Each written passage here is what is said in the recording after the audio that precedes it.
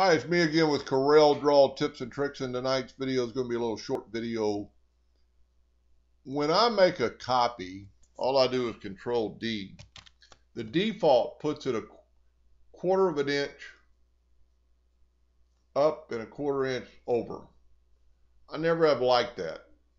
But let's say you like that and you're not going to change it.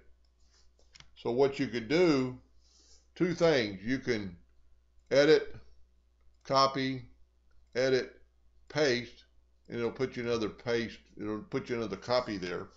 Or hold down your control button at the same time, hit your C and V key, and it's going to put a copy right on top of the other one. So I like having mine just zero, zero, and then when I make a duplicate, it's sitting right there and I can do what I want with it. I don't understand the quarter inch, quarter off. Now, the other reason would be to cut and paste. Let's say you're working with different pages and you're drawing something and we're just going to use this for instance.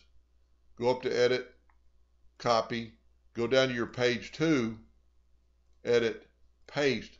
Now you have the same object exactly in the exact same place on two pages.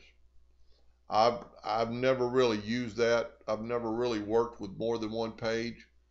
Uh, the only way I could see it, you know, if you had a bunch of name tags or, you know, more than that would fit on your laser bed.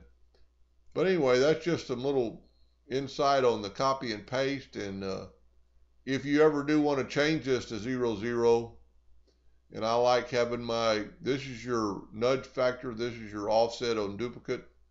All you have to do once you've changed is to go to tools and save as default.